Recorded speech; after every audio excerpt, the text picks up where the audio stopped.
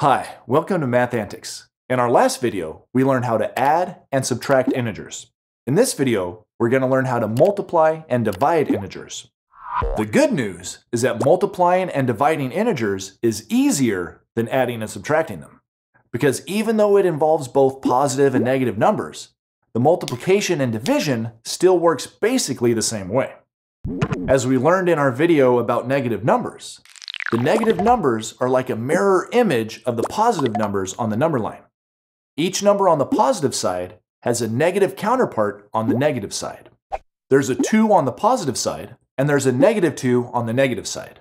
There's a 5 on the positive side, and there's a negative 5 on the negative side, and so on. Realizing that can help us understand that negative numbers are just like positive numbers, but they have a negative factor built into them. For example, Think about the number 3 for a minute. Do you remember when we learned about factors? We learned that 1 is always a factor of any number.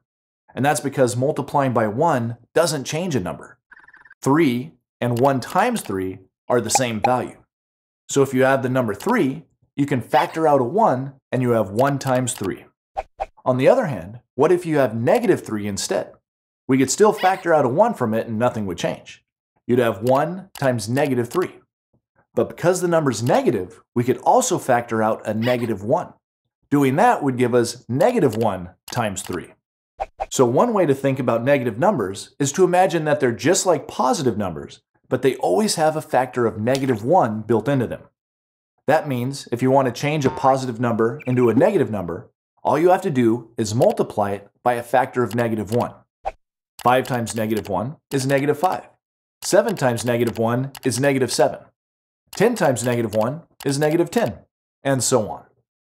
And one way to visualize this is to see that multiplying by a factor of negative 1 just switches a number from the positive side of the number line to the negative side. Ah, but that raises an interesting question. What happens if you multiply a number that's already on the negative side by a factor of negative 1? Like negative 1 times negative 3. Is that going to make it extra negative? Nope. In fact, it's going to do just the opposite. Multiplying a negative number by another negative factor is actually going to switch the answer back to the positive side of the number line. Multiplying by negative 1 acts like a switch no matter which side of the number line you start on. If you start with a positive, then multiplying by negative 1 switches it to negative. But if you start with a negative, multiplying by negative 1 switches it back to positive. And you can keep switching back and forth between the positive and negative side of the number line by multiplying by another negative 1 as many times as you want. Positive, negative, positive, negative, positive, negative. So, multiplying by one negative gives us a negative. Multiplying by two negatives gives us a positive. Multiplying by three negatives gives us a negative. Multiplying by four negatives gives us a positive. Multiplying by five negatives gives us a negative. Multiplying by 6 negatives gives us a positive, and so on. Do you see the pattern? In a multiplication problem, if you have an even number of negative factors, they'll form pairs that will balance each other out and will give you a positive answer. That's because the pair negative 1 times negative 1 just equals 1, which has no effect on the answer. But if you have an odd number of negative factors that are being multiplied together, after you balance out all the pairs, there will always be one negative factor left over that will give you a negative answer. In a minute, we'll see some examples of how knowing this will help us when multiplying and dividing lots of integers. But first, let's look at the simple problem 3 times 5. We know that the answer is 15, but now, thanks to negative numbers, we know that there's three more variations of this problem that we need to learn how to do. This might seem a little complicated, but it's really not. That's because we're going to get the same number for the answer for all four problems. It's just that the sign of the answer, whether it's positive or negative, will be different depending on how many negative factors we're multiplying.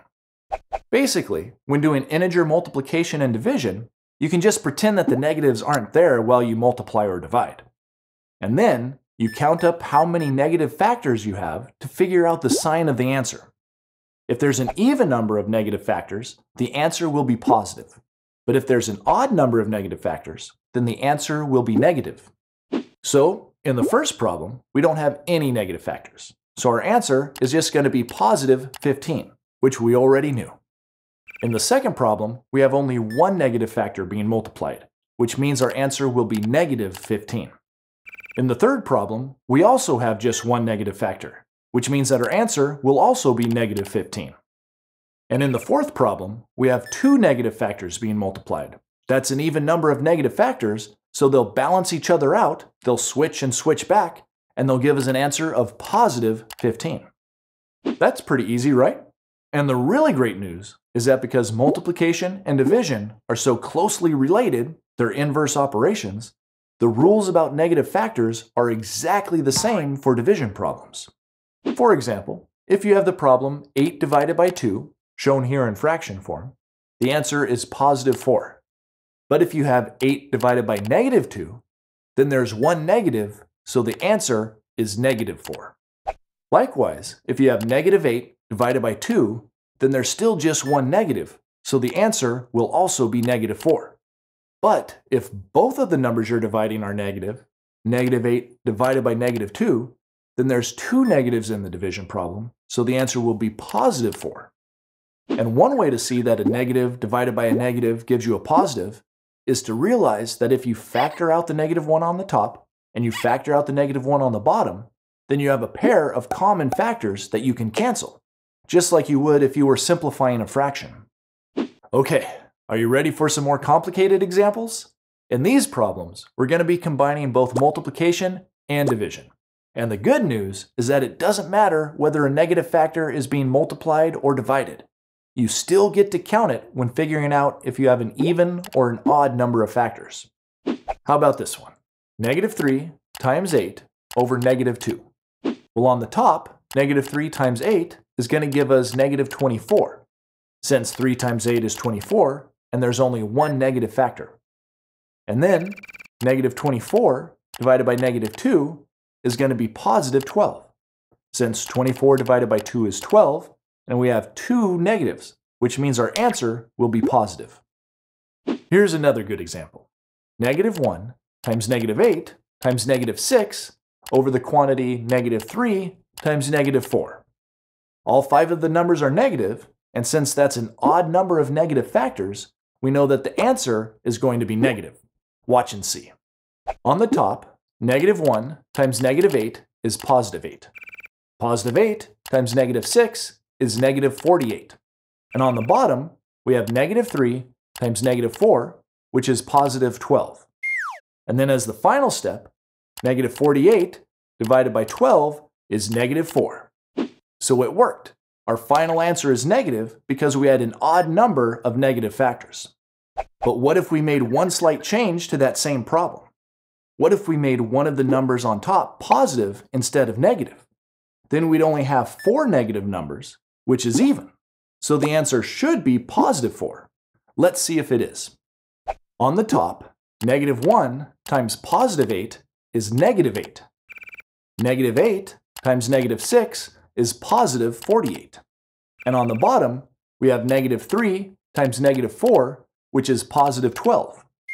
And then as the final step, 48 divided by 12 is positive 4, just as I suspected. So do you see what I mean? All the multiplication and division works the same. It's just that you have to figure out whether the answer is going to be positive or negative. And to do that, all you have to do is figure out if you have an even or an odd number of negative factors in the multiplication or division.